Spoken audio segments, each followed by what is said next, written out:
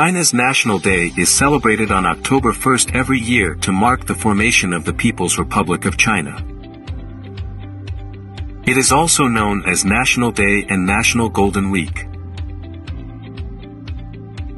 The seven-day holiday from October 1st to 7th is called Golden Week, during which seas of Chinese people go traveling around the world.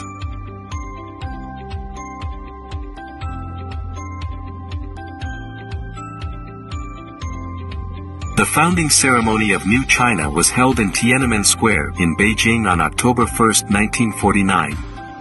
The government declared October 1st as National Day every year from 1950 onward.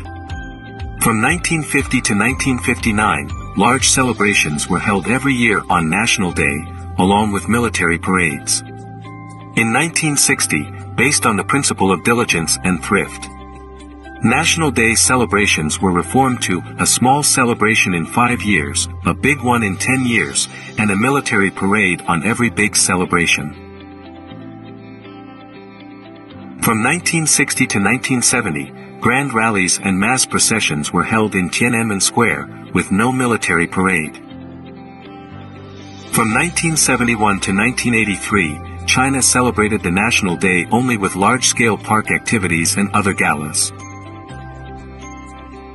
In 1984, the 35th anniversary of the National Day, a huge military parade and mass parade were held.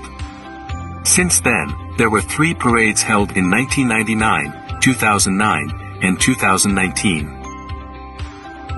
On September 18, 1999, the State Council designated National Day as a holiday for all citizens, with a three-day holiday. In 2000, the seven-day National Day Golden Week appeared.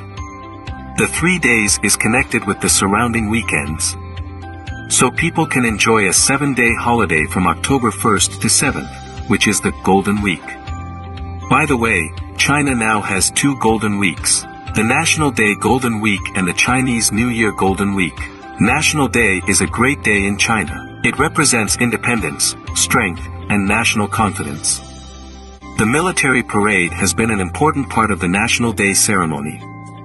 From 1949 to the present, there are a total of 15 National Day parades held.